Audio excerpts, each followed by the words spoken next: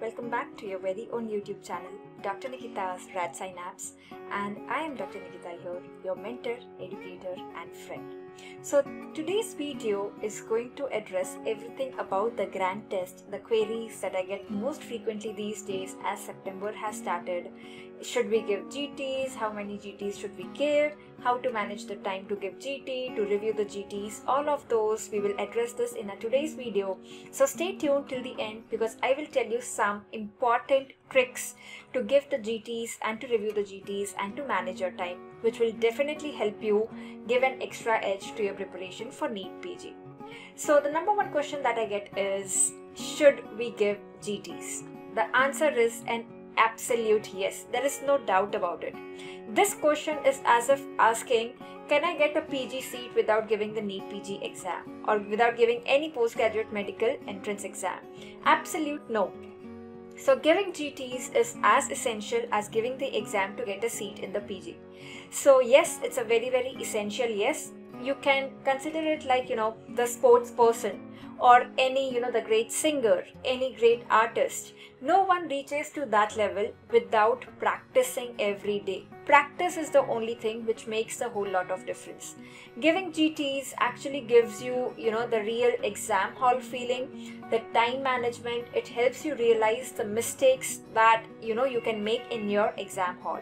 So make sure you give the gts it's high time that you start giving gts if you haven't started yet the second query that i get is how frequently should we give the gts so i would say the ideal thing would be to give one GT a week. Like, let's fix a day in a week. I'll give GT every Sunday or every Monday, every Tuesday, whatever it may be. If you are too pressed of time, then give it once in a fortnight, that is once in two weeks. So, the first one that I said, once in a week, would be the ideal one. Then, the third query is how to manage time to give GTs with the revision timetable that we have. I believe that all of you are aware of the revision timetable that we have on our telegram group and if not please get aware of it because it will keep you on track. It will give you daily targets. We have daily tests after the target is over to assess your preparation. So we have almost 10k members of family on a telegram group all of them following the daily targets. So do join them and follow the daily targets and assess your preparation. So i get a query from the students like you know with the daily target how do we manage time to give the grand test? So i would say that fix one day in a week to give a gt instead of giving 3 hours or three and a half hours to complete that 300 questions ka grand test try and finish the grand test in only two and a half hours and give it as if you have only two and a half hours to complete the GT because that will really help you to develop the speed to solve the questions. And if in the exam hall if you get lengthy questions it will give you more time to complete those questions. So try and complete the GT in two and a half hours only. Now next query is how to review the GTs now for reviewing the GTs you should start with the questions that you have got wrong and rather than completing the entire GT review in one day or two days, I would say that allocate some time every day to reviewing the GT. Let us do some calculations here. Let's get back to some basic mathematics. So you have 300 questions in the grand test. I said uh, keep one day a week to give the GT, let's say Sunday. Then Monday to Saturday, six days, you can review the GT. So 6 days, 300 questions, that means 50 questions per day you have to review. That's not a big task at all. Now let us say that on an average, uh, we take say 3 minutes to review one question. Reviewing the question means looking where did you go wrong, reading the explanation even of the correct questions so that if you get to learn some new point in the explanation, adding on to your notes if there's some new point. So everything let's take it takes three minutes. So 50 questions three minutes each question that is 150 minutes that is two and a half hours. So each day allocate two and a half hours to reviewing those 50 questions.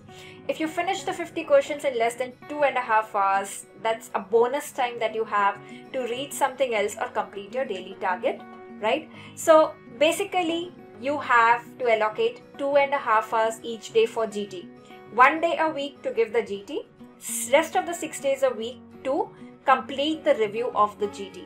start reviewing the GT with the incorrect questions. Then come to the questions which you got right but you were not very sure of. That means जो तुक्के लग गए थे जो guess थे वो वाले questions you have to review the next. And then at the last keep the questions that you were very sure of Review those as well because it would be like a revision for you and the explanation of the questions might give you one extra point that might be asked in your exam. So this way what happens you are prioritizing which questions to review first. So the incorrect ones should be reviewed first.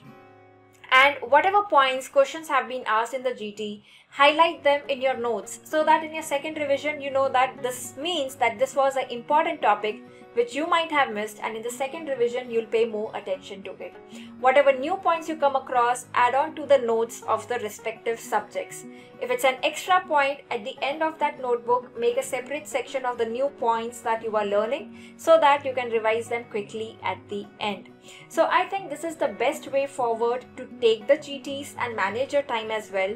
If you do that every day, two and a half hours, then it will be a change for you as well. You know, if you get bored of reading hematology the entire day, FMT the entire day, or whatever target you have for the entire day, get on to reviewing the questions of the GT.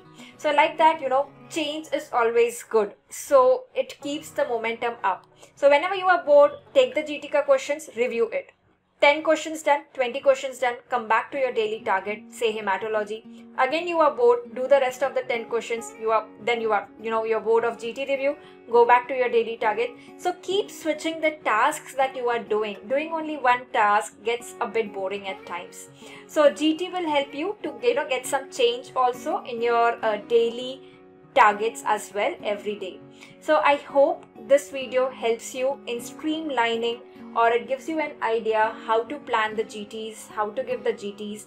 And one more very, very important point whenever you are giving the GTs, please do not do it on your mobile phone. I know it is very easy to do it, you know, the phones are so handy, but you are not going to give your exam on your smartphones. So make sure that you do it on a laptop or a desktop and you know as be as serious as you would be in your final exam hall so that you know it really really prepares you for the final match that is the date has been declared that is 10th of january. All right so give it on the laptop give it one day a week rest of the six days review 50 questions each day add on to your notes keep revising them. That's the best way forward to tackle that demon of gts that we all have but trust me it is not that difficult as we think.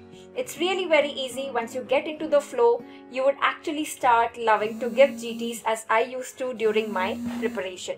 So yes that's all for today. If you have any queries you have any other ideas in your mind that you are following to do the GTs, to tackle the GTs, do let me know in the comments. You know that I love to hear from you, I love to connect with you, and yes, I'm there with you always.